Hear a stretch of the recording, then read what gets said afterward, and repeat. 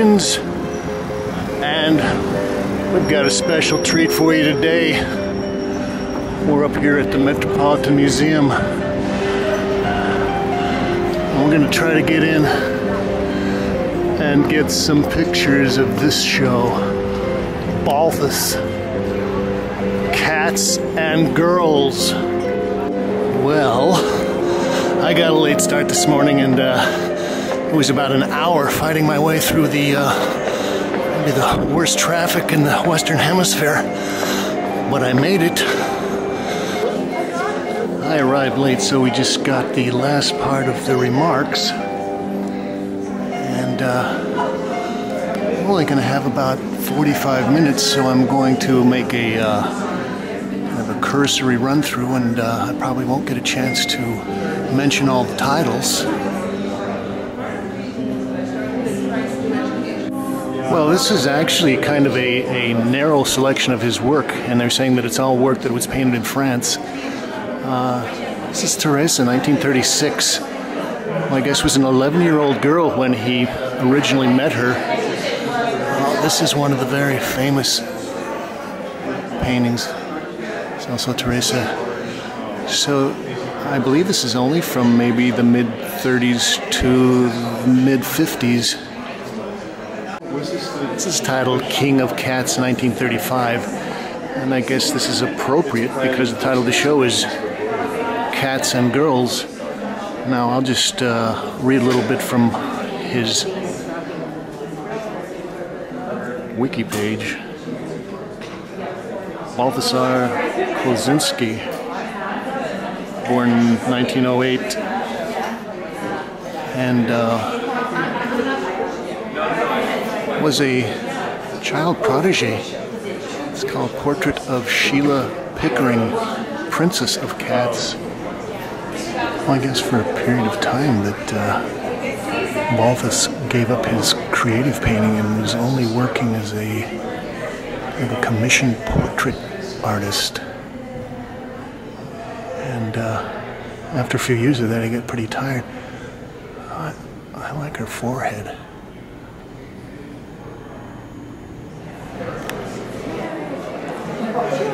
And uh, as a young child, he was actually, his family were friends with uh, Rainer Maria Rilke, and he was sponsored by and knew people like Henri Matisse, Henri Gide, Jean Cocteau. It's called Teresa on a bench seat. You know, he's always got these uh, adolescent girls posed in very provocative uh, positions. It's Teresa 1938, oil on cardboard.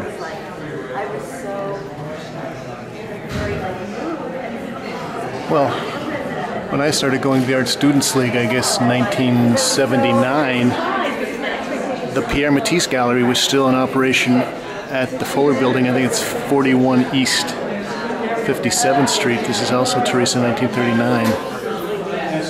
Oh, this is maybe one of his greatest pieces from this period. Teresa Dreaming 1938. Anyway, I remember maybe 1979 going and seeing a show of Balthus's latest paintings.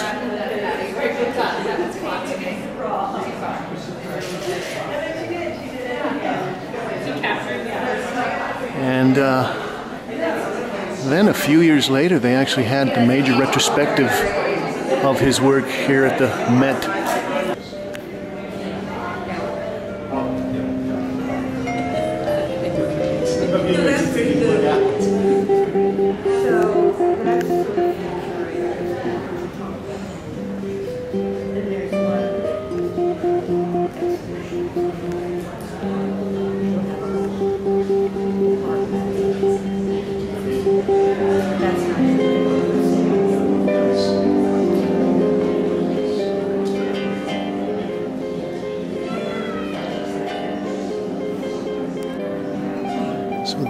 Salon 2, 1942.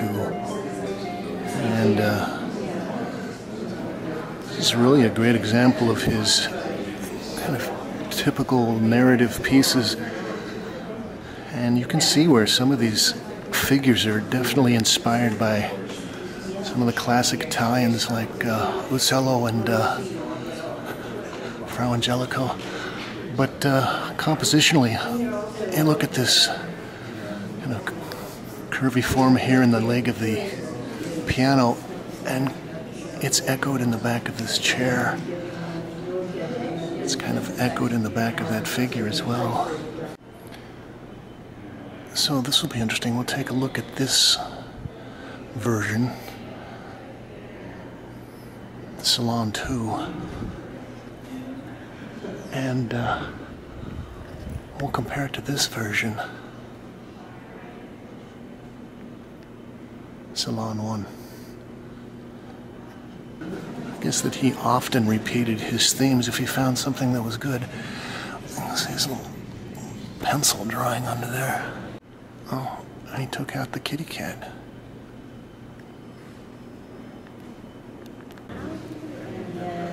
This is a beautiful little study for the golden days. So it sounds like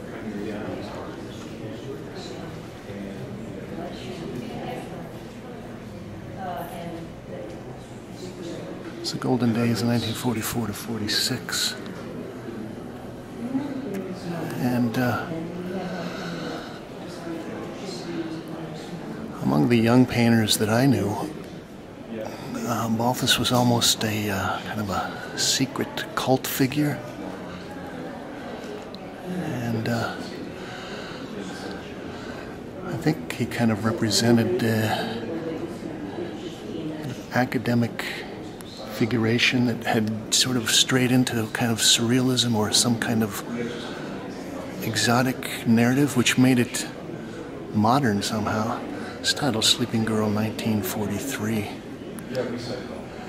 And also the fact that he consciously had uh, studied and uh, was influenced by the masters especially Italian primitives, I think made him even more attractive. Still life with figure. Now, just the still life is beautiful. And uh, that knife and the bread is great. Well, he was uh, already known as an artist when he was in his teens and we're going to try to get in and see some ink drawings that he did when he was 11. Kind of titled The Card Player. Oh, this looks like somebody that escaped from a Piero della Francesca painting.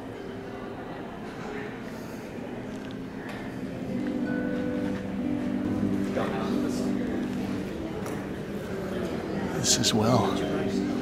And I like the uh, split pattern on the blouse, green versus red.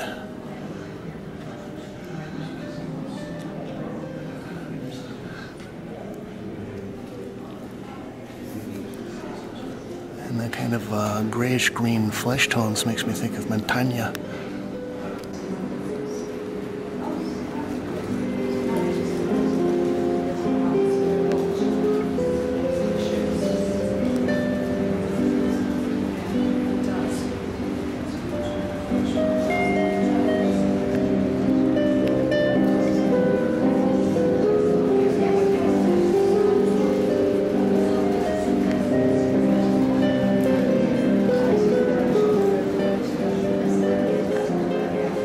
Well, this is Salon 3, and uh,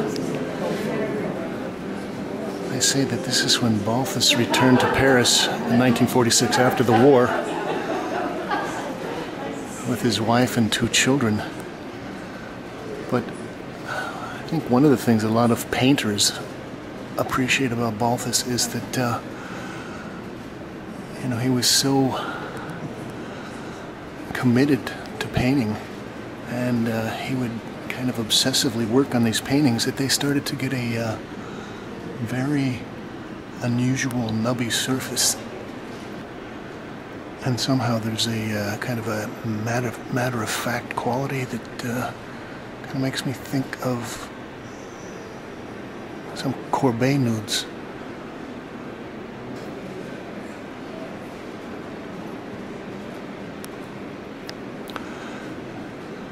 Another nice piece, nude with cat, and. Uh, Although they don't have any of his great uh, late pieces that were done in casein, as we go along, we get a chance to see some of the other pieces that he really uh, builds up quite an extraordinary surface on.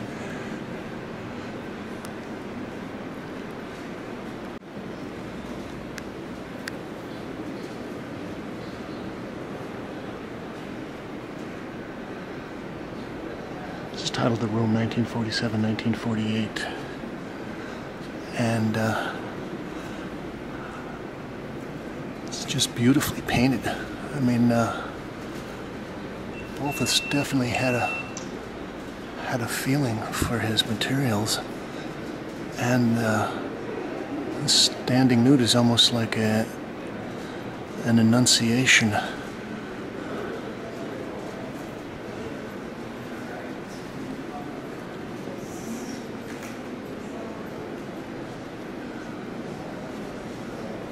This is the week of Four Thursdays, 1949. And again, this is another version of the girl with the arched back in the room. There's the cat.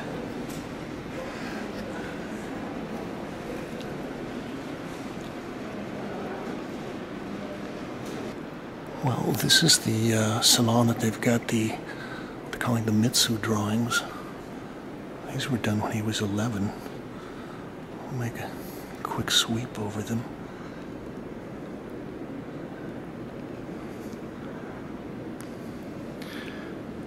I guess these were thought to be lost. And I would say that probably each one of these pages is uh, five by four inches and the actual are probably about three by three inches. I guess Mitsou was a cat that he found, and this kind of uh, establishes his cat theme. Some of the uh, the figurative elements here make me think of Chagall, but oh, some of it's got very uh, nice abstract layouts. This is a study for cat of La Méditerranée. And uh, this is probably about as uh, surrealistic or fantasy based as he ever gets. And uh, oh God, he's using great heavy weave linen. This is one of his uh, few very coloristic pieces I think the uh, rainbow is very uh, untypical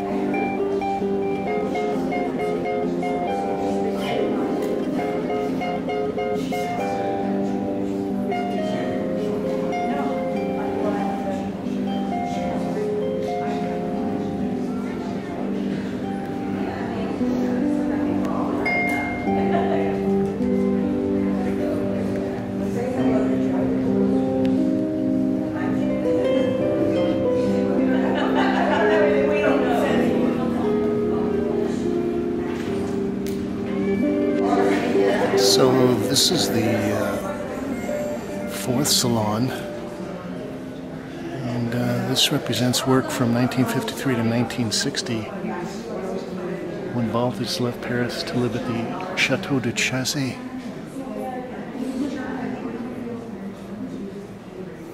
in Morvan, France. Uh,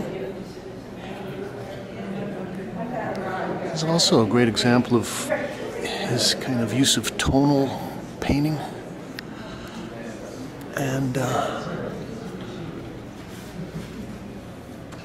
it's also nice that uh, he doesn't get carried away with the details. He just sort of does what he needs to do to get the message across and then leaves a lot of this almost uh, unfinished. So you'll have uh, underdrawing coming through, underpainting. It's a lot of overworking.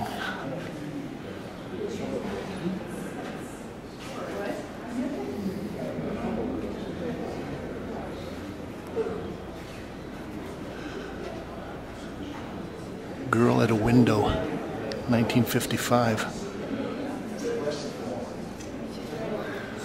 Now, here we start to see the Nubby buildup.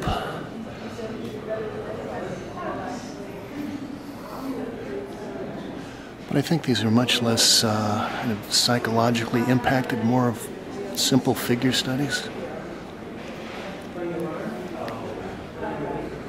Oh, this is a beautiful piece.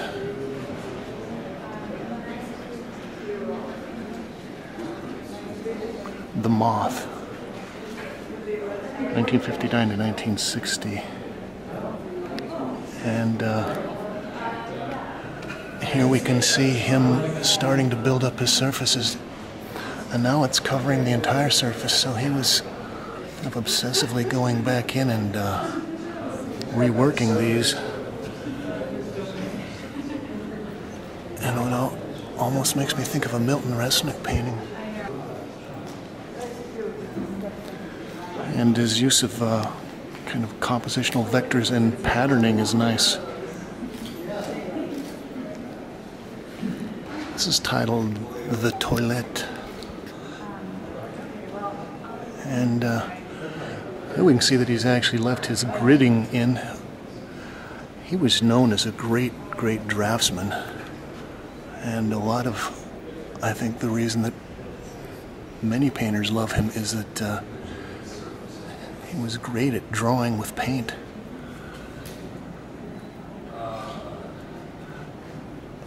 And he's got very thin uh, kind of glazes over a, a basic uh, heavy ground of oil paint. There's a lot of crackle in this too. Oh, this is one of my favorite pieces. This is in the Met's permanent collection. Nude in front of a mirror 1955.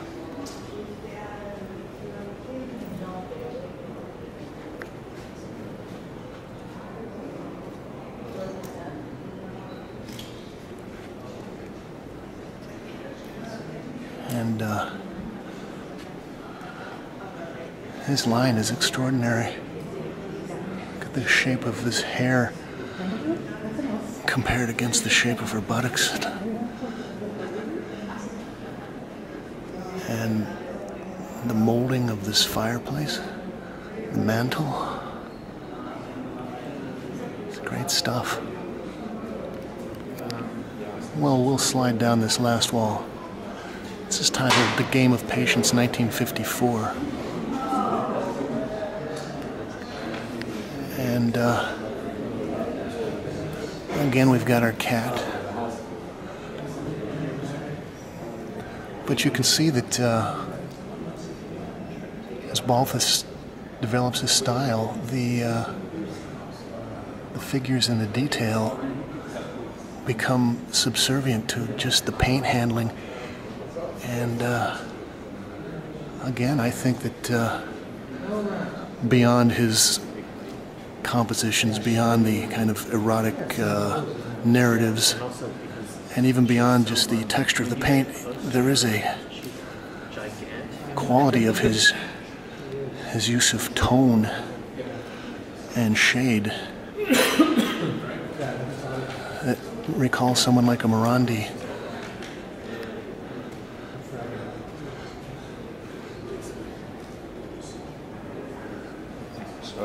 This is titled Dream.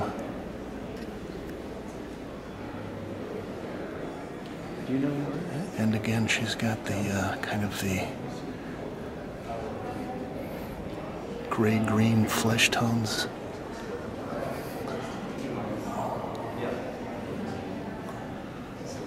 And the one little poppy. And the figures have become almost uh, kind of manneristically stylized.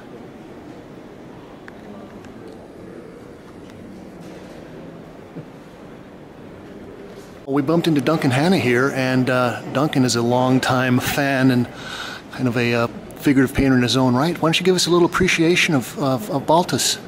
Well, he's always been um, a master to me. I love his mix of old world painterliness and Courbet. Yes. And, uh, um, narratives and mystery. How do you think this relates to uh, some of the contemporary figurative painting that's being done by, by younger artists here in New York? Well, Balthus is so uh, restrained and subtle. He's just classier than anything happening right now, I'd say.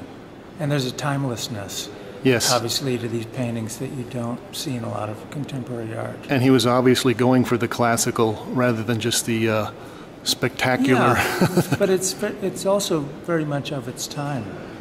I mean, it's interesting the World War II paintings in there. You'd never know the war was happening. Yes. Because it's this hermetic world that he was totally concentrated on, and it's his own world. And in a way, I mean, that's what every artist could hope to do: is Right. create their own world. And if Balthus didn't do it, I mean, who did? All right. Thanks, Duncan Hannah. Thank you. Well, that was very nice of Duncan Hannah to uh, give us a little appreciation. We got a couple of more paintings we're going to wrap up with here. This is Girl in White Smock, 1955. And uh, this is nice. He's uh, kind of masked out his forms in the face.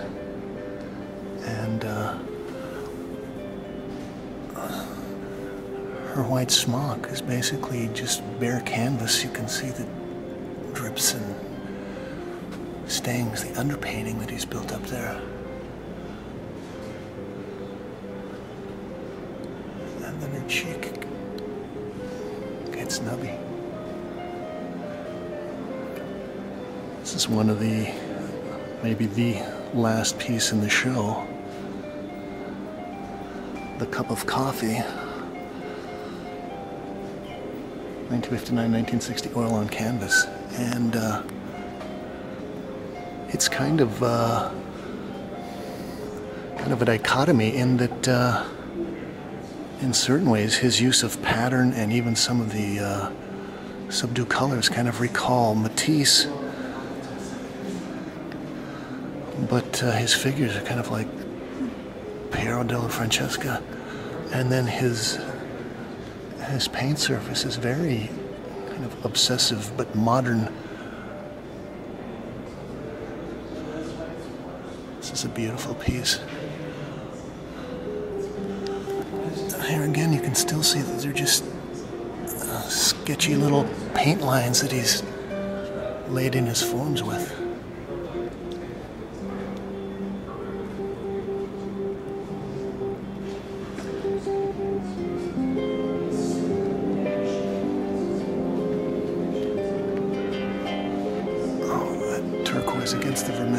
Nice.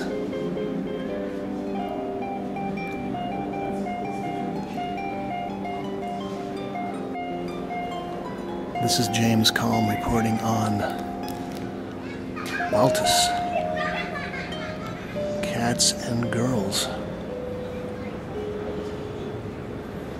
at the Metropolitan Museum of Art.